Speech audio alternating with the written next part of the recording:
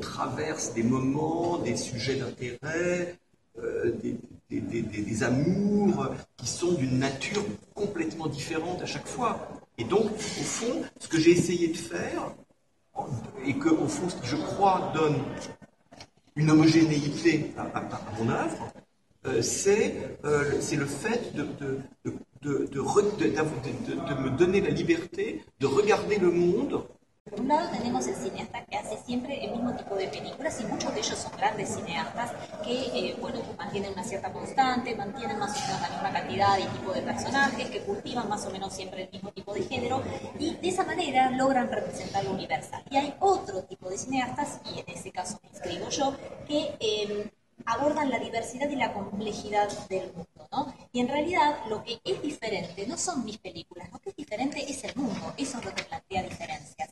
Cada uno experimenta el mundo de una manera, de su, a su propio modo y de, manera, y de una manera que no es unidimensional. Cada uno tiene sus experiencias, sus amores y cada vez se vive de manera diferente cada, cada una de estas cosas.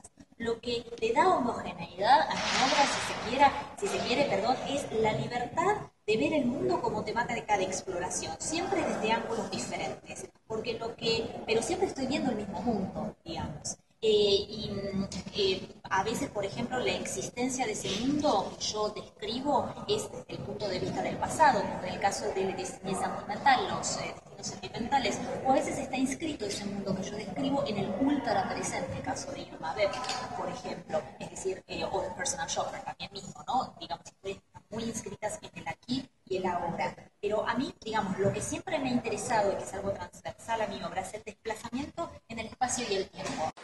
moi, c'est pas le cinéma.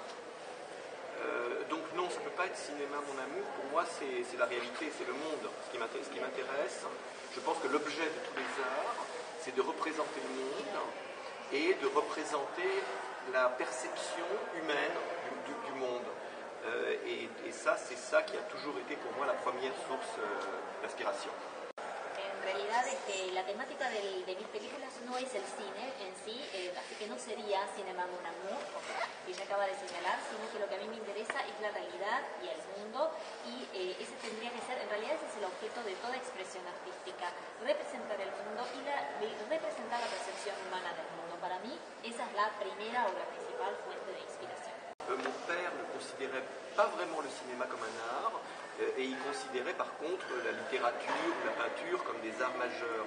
Donc c'est vrai que j'ai grandi à la fois dans le sentiment que le cinéma était quelque chose de proche, qui était accessible, mais au fond, euh, les valeurs euh, véritables que, que m'ont transmis mes parents, pas seulement mon père, c'est l'amour plutôt de la peinture et de la littérature. Había como una cuestión dual ¿no? en mi familia con respecto al cine, porque al mismo tiempo mi papá no consideraba que el cine fuera artístico. Para él las verdaderas formas de arte eran la literatura y la pintura. O sea que yo crecí con un contacto bastante cercano con el tema del cine, pero con valores que tenían que ver con el amor por la pintura y la literatura. Y no solamente del lado de mi padre, sino también del lado de mi madre.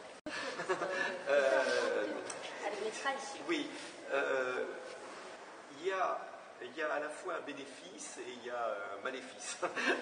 Euh, dans, le sens, dans le sens où euh, j'ai toujours fait, disons que c'est pas seulement que j'ai fait des films qui étaient en rupture du point de vue des, principes esthétiques, on va dire, du cinéma indépendant français, mais j'ai aussi fait des films qui étaient en rupture du point de vue de la logique du financement du cinéma français par exemple. Euh, et c'est vrai que, que j'ai eu beaucoup de mal, j'ai toujours eu beaucoup de mal à toutes les époques à, a, que mis films soient financés. Es al mismo tiempo, en lo que vos preguntas es al mismo tiempo un beneficio y un maleficio. Que bueno, ustedes lo saben, filmo algunas películas en inglés, con lo cual no suelo tener acceso a el sistema de subvenciones o de subsidios francés. Eh, a mí lo que siempre me ha interesado es esta idea de cuestionar el cine como medio y las reglas que existen en el cine, no solamente en el cine como industria, sino también en el ámbito del cine independiente. Yo pienso que el arte y el cine caso en particular, tiene ese costado de exploración, de búsqueda. Disons que, que Personal, Personal Shopper est un film qui est fait euh, sur la tension qu'on qu qu connaît tous, qu'on partage tous, entre le monde matériel et le monde intérieur, disons, qui, qui est celui de notre intimité ou de notre imagination. Con respecto a Personal Shopper, ¿no? es un film que establece o que tiene que ver con una tensión que compartimos todos, una tensión que existe en el mundo material y en parece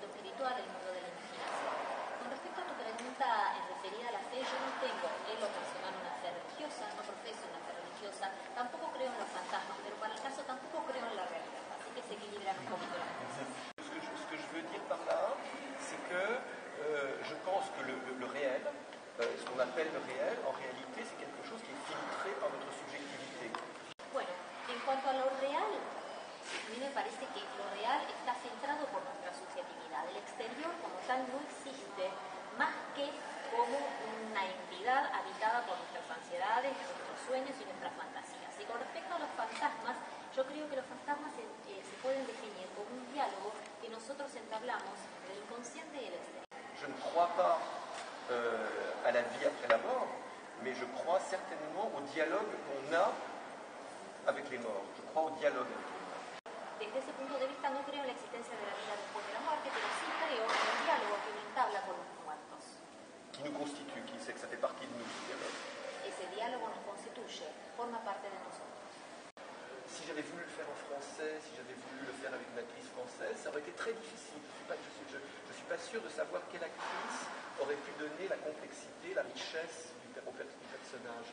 Et euh, donc, ce que m'apporte Christelle, c'est d'abord sa personnalité, son- ce- la façon dont son, talent est éventuellement complémentaire de mon inspiration. Por ejemplo, en el caso de Personal Shopper, si yo hubiera decidido filmar la película en francés,